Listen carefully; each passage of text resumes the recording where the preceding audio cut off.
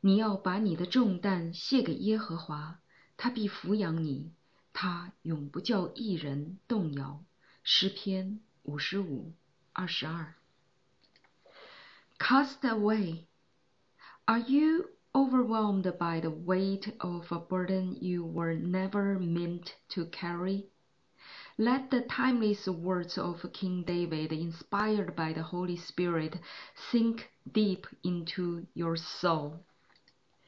Cast your burden on the Lord, and he will sustain you. He will never permit the wretches to be moved. Psalm 55:22.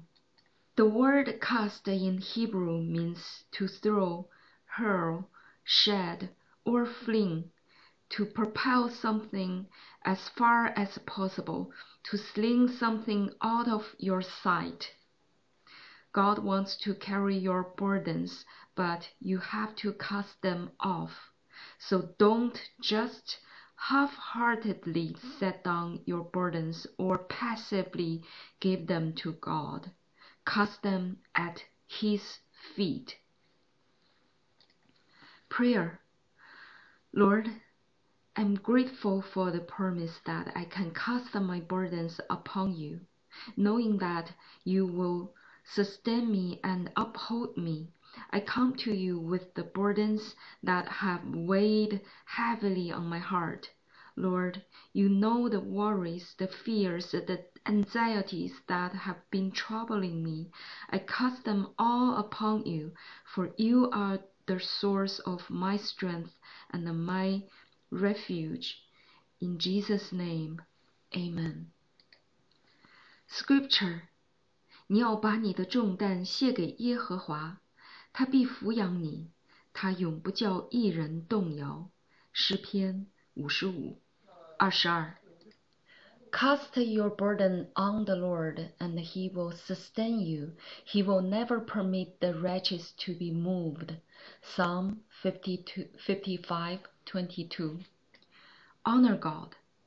God is able to support us when we are weak and strengthen us when we feel weary. Spend a few moments focusing on how strong and powerful He is, and give Him whatever praise comes to mind. My concerns. 信就是所望之事的实底，是未见之事的确据。希伯来书十一一。What are you hoping for today? Bring to God whatever is on your mind and allow Him to fill you with His hope and peace. My response 我将这些事告诉你们，是要叫你们在我里面有平安。在世上你们有苦难，但你们可以放心，我已经胜了世界。约翰福音十六三十三。 What has Jesus overcome in your life? Sit with this question for a few moments. Give yourself permission to reflect on God's faithfulness and respond to Him. Closing.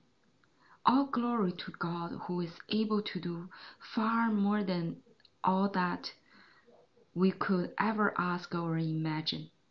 Take a few moments to process this time with God before going about the rest of your day.